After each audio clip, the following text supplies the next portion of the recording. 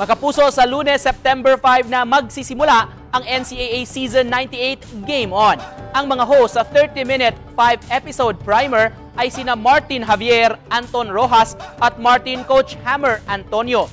Tatalakayin sa programa ang iba't ibang exciting topics sports na mapapanood sa GTV simula alas 10.30 ng umaga pagkatapos ng GMA Regional TV News.